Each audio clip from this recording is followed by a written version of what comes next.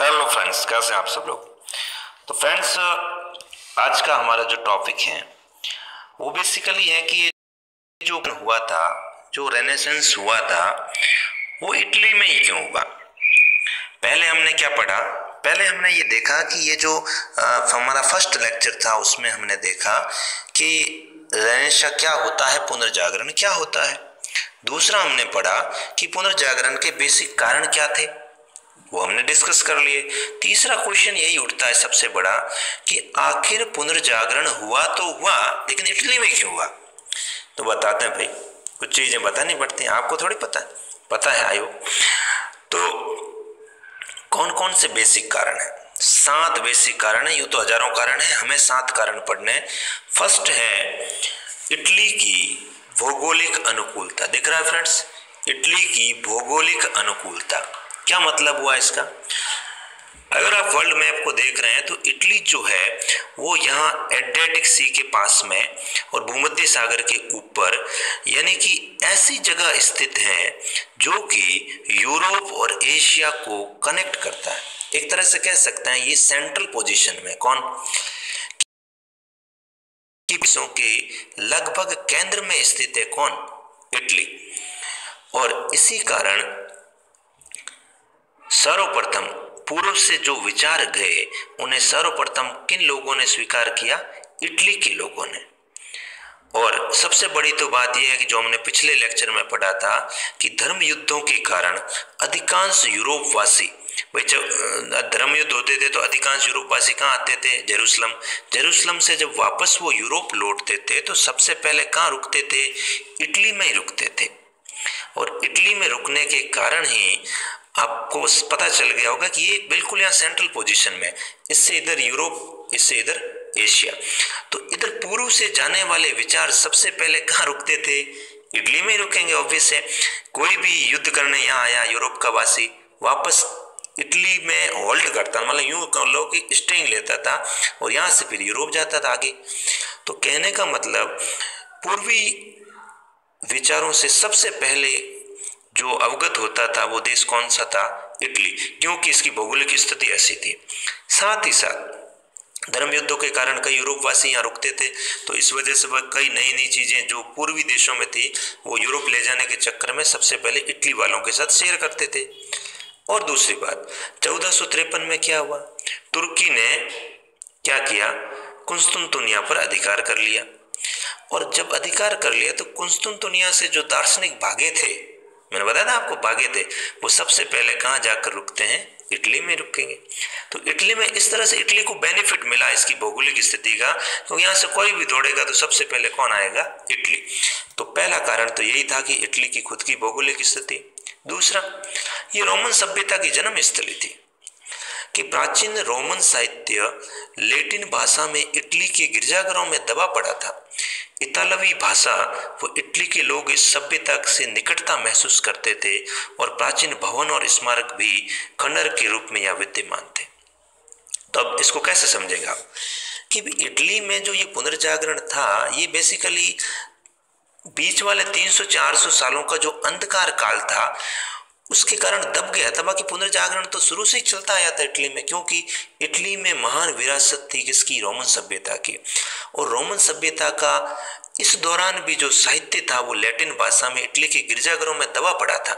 तो लोगों को जब पता चला कि वास्तव में हमारी जो रोमन सभ्यता थी वो इतनी महान थी तो उन्हें अपने महान होने का एहसास हुआ और फिर उन्होंने महसूस किया कि ये जो प्राचीन खंडर और स्मारक हैं, ये हमारे सभ्यता के, ये हमारे समृद्धि के, ये हमारे संस्कृति के प्रतीक हैं। तो कहीं ना कहीं रोमन सभ्यता ने भी इटली को ये झकझोर कर दिया कि यस, आपको पुनर्जागृत होना है। तो पहला कारण तो ये समझ में आ गया फ्रेंड्स कि भौगोलिक स्थिति। दूसरा कारण क्या हुआ?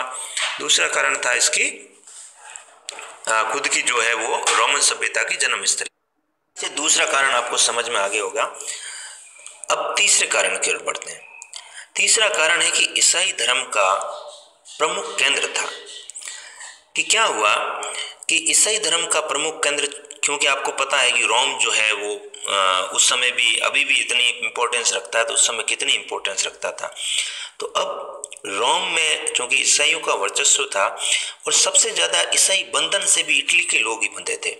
क्योंकि सीधी बात है किसी को जितना ज़्यादा दबाएगा उसी के अकॉर्डिंग उसकी प्रतिक्रिया होगी रिएक्शन होगी। ईसाई बंधनों से इटली के लोगों को सर्वाधिक बांधा गया। बांधा गया तो उसके अपोजिट में जो सबसे ज़्यादा रिएक्शन हुई, प्रतिक्रिया हुई, वो भी इटली के लोगों से ही हुई। साथ ही साथ कुछ पोप भी भले मानुष निकले, जैसे कि एक नाम आता निकोलस पंचम। निकोलस पंचम खुद एक पोप शासक मतलब के बावजूद भी उसने ग्रीको रोमन पांडुलिपि का संग्रहण एवं वेटिकन पुस्तकालय की स्थापना करवाई। क्या क्या मतलब हुआ इसका फ्रेंड्स कि ईसाई बंधन सबसे ज़्यादा, ईसाई बंधन का मतलब है कि धार्मिक रूप से सबसे ज़्यादा जो जकड़ने थी, वो यूरोप के अन्य देशों की तुलना में इटली के ऊपर ज़्यादा थी। तो लोगों की प्रतिक्रिया भी ज़्यादा होगी। प्रतिक्रिया ज़्यादा होगी तो स्टार्टिंग भी इटली से होगी। और साथ ही साथ कुछ ऐसे पोप्स का भी साथ मिला, जो वास्तव में धर्म सुधार चाहते थे, जो वास्तव में पुनर्जागरण की कल्पना को साकार करना चाहते थे। उसमें एक नाम आता है निकोलस पंचम। उसने क्या किया? उसने ग्रीक रोमन पांडुलिपियाँ, जो भाई रोमन संस्कृति की जो पांडुलिपियाँ थी, उनको संग्रहित करवाया। उन लोगों को जगाया कि, यार, जागो यार, क्या बात करते हो? आपका इतिहास देखो आप अब कितने महान थे। आज भी हम भी कई बार कहते हैं ना, भारतीय संस्कृति महान रही तो हमें भी गर्व अनुभव होता है।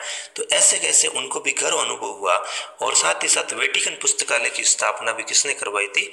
निकोलस पंचम ने। तो फ्रेंड्स, ये समझ में आया गया पहला, भौगोलिक अनुकूलता, दूसरा, रोमन सभ्यता की जन्म स्थली तीसरा, ईसाई धर्म का प्रमुख केंद्र। चौथा था आर्थिक समृद्धि, सबसे मोस्ट भूमध्य सागर से निकटता है किसकी? इटली की। कारण यहाँ व्यापार वाणिज्य में बहुत ज़्यादा वृद्धि हुई। और व्यापार वाणिज्य में जब वृद्धि होती है तो कोई नगरों की स्थापना होती है, जिसमें नेपल्स मिलान वेनिस ऐसे कई नगर डेवलप हो गए कहाँ पर? इटली में। अब नगर डेवलप होंगे तो सीधी बात है एक व्यापारिक वर्ग उभरेगा, जिसे मध्यम व्यापारिक वर्ग कहते हैं। और मध्यम व्यापारिक वर्ग, चूँकि सामंत और पोप इस व्यापारिक वर्ग के ऊपर अंकुश लगाते थे, बोलते थे, ये व्यापार नहीं करना, ये नहीं करना, वो नहीं करना। तो इनको खलल महसूस हुआ कि इनको सामंत, इसको व्यापारियों को। तो इन्होंने इनकी परवाह करनी बंद कर दिया बकवास करते थे, बेवकूफ़ है। तो इनको छोड़ोगे तो इन्होंने क्या किया? पोप और सामंतों को डायरेक्ट चुनौती दी किसने? व्यापारिक मध्यम वर्ग ने। और चुनौती देने से क्या हुआ फिर? और साथ ही साथ कलाकारों और साहित्यकारों को आश्रय दिया। सीधी बात है, पैसा होगा तो आप डिस्को में जाओगे बाहर में जाओगे, दारू पियोगे, सिगरेट पियोगे ऐसा करोगे ना? तो जब पैसा आया पोप कहते, नहीं, सिगरेट नहीं पीनी। नहीं। गलत काम नहीं करने। तो पैसा आता तो गलत काम तो अपने आप ही हो जाते हैं। तो फ्रेंड्स क्या हुआ कि इन्हें भी मौज मस्ती का सूझा तो मौज मस्ती ये साले करने नहीं दे रहे थे तो हम तो करेंगे। तो फिर इन्होंने डायरेक्ट क्या किया, इन्होंने कलाकारों और साहित्यकारों को आश्रय दिया और जानकर आश्चर्य होगा कि फ्लोरेंस का एक मेडिसी परिवार है। याद रखना फ्रेंड्स फ्लोरेंस का एक मेडिसी परिवार या मेडिची भी बोलते हैं कई बार। इस अकेले परिवार ने दस हज़ार दुर्लभ ग्रंथों को एकत्रित करने का कार्य किया था। इतने भयंकर स्ट्रांग फैमिलीज़ हो गई थी। बोले तो पैसा बढ़ गया तो स्ट्रांगनेस होगी समाज में। दस हज़ार दुर्लभ ग्रंथों को एकत्रित करने का कार्य किसने किया? फ्लोरेंस की मेडिसी फैमिली ने। साथ ही साथ, अकेले फ्लोरेंस ने कई दार्शनिक, कई विद्वान, कई स्कॉलर्स दिए। Dante Petrarch Boccaccio Angelo Leonardo Ghiberti, Machiavelli आदि, ये सारे जो महान लोग थे, वो अकेले फ्लोरेंस से निकले। तो ऐसे कई नगर थे जहाँ से कई महान लोग निकले और उन्होंने ही महान कार्य किया पुनर्जागरण का। दांते, पेटार्क पेट्रॉर की बोलते बुकासियो, एंजेलो लियोनार्डो गिब्बर्ती मैक्यावली, ये सारे एक ही नगर से निकले थे। कहाँ से? फ्लोरेंस से। तो इन्होंने समाज सुधार का काम किया, लोगों को जगाने का काम किया। पांचवा पॉइंट आता सांस्कृतिक विशिष्टता। कि भाई लेखकों, कलाकारों आदि ने यूनान की संस्कृति के साथ साथ प्राचीन रोमन संस्कृति से भी प्रेरणा ली, अतः पुनर्जागरण के अंकुरण के लिए इटली की भूमि सर्वाधिक उर्वर थी। तो हुआ क्या फ्रेंड्स कि इटली में ऑलरेडी आपको पता है कि रोमन संस्कृति जो लेखक और कलाकार थे उन्होंने यूनान और रोमन संस्कृति को बड़ा चढ़ा के बोले तो उसकी गुणगान किए। तो गुणगान किए तो इसका मतलब लोग तैयार हो चुके थे। खेत बो, बोते हैं तो पहले हम खेत को क्या करते हैं? बोला करते हैं कि नहीं करते हैं? तो इटली की भूमि बस पौधारोपण के लिए तैयार हो गई थी, अंकुरण के लिए तैयार थी, क्योंकि यहाँ की सांस्कृतिक विशिष्टता, यहाँ की खुद की जो रोमन संस्कृति थी, उसने और कई कलाकारों ने यूनान और रोमन संस्कृति को इतना बड़ा चढ़ा के पेश किया कि लोगों में पुनर्जागरण की भावना डेवलप हुई। छठा आता नगर राज्य। कई नगर स्वतंत्र विचारधारा सीधी सी बात थी कि जब नगर बसे, नगर में कौन थे ज़्यादातर? व्यापारी लोग। व्यापारी लोगों ने सम्राट और पोप को मानने से मना कर दिया। ये फर्जी लोग इनको हटा दो। तो जब इन्होंने मानना मना कर दिया तो पोप और जो राजा के नियंत्रण थे, इन पर वीक हो गए। किस पर? नगरों पर।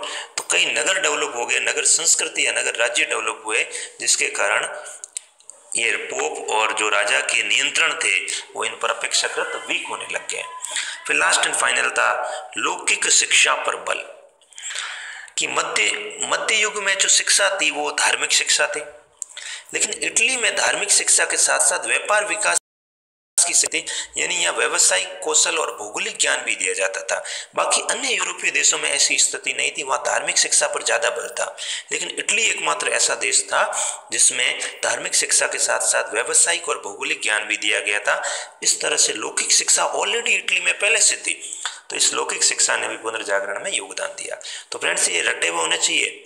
भौगोलिक अनुकूलता, रोमन सभ्यता की जन्म स्थली, ईसाई धर्म का प्रमुख केंद्र। आर्थिक समृद्धि, सांस्कृतिक विशिष्टता, कई नगर राज्यों का विकास और लौकिक शिक्षा पर बल। तो फ्रेंड्स आगे हम पढ़ेंगे और के भी पुनर्जागरण के किस सेक्टर पर कैसे इफ़ेक्ट पड़े, उसके बाद आपका पुनर्जागरण खत्म हो जाएगा टेंशन फ्री हो जाए। Okay bye take care question लिखे आज का। पता ही आपको क्या है क्वेश्चन पुनर्जागरण का प्रारंभ इटली से क्यों हुआ? सौ शब्द में वर्णन करें। Okay bye take care